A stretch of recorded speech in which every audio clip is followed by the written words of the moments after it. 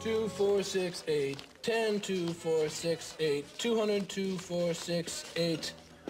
Three hundred dollars. Here's my share of the rent we owe to Kelly. I'll let you pay the full amount. Yeah, when I get it. What's going on? You, uh, what? Somebody we know die? No, I hope so.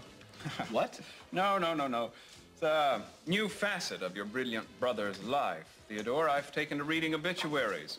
Or, as I used to sneer when I caught my less fortunate colleagues doing it, I've taken to ambulance chasing. Widow chasing, to be more accurate. You see, Ted, the uh, deceased need lawyers to handle their estate. That's one good thing about being in Santa Barbara society. I can recognize the good ones.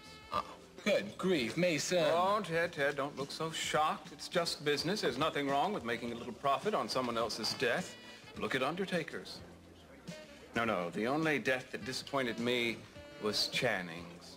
I thought surely with him gone that I would uh, inherit the crown, that my problems would be over. But here I am. Mason, Mason, just get off it. Get off what, Ted? Channing, man. No matter what the subject is, you always change it back to Channing. Oh, do I? I didn't realize.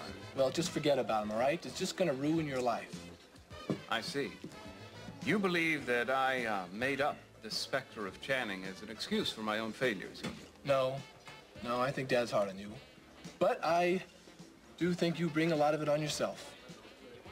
Dad cast me as the villain of this piece a long time ago, Ted. Nothing I can ever say or do can change that. And he cast Channing as the hero. And nothing Channing ever said or did changed that. Well, now, what's that supposed to mean? Well, you're a big boy now. I think you're old enough to grapple with the reality of what kind of person your brother really was.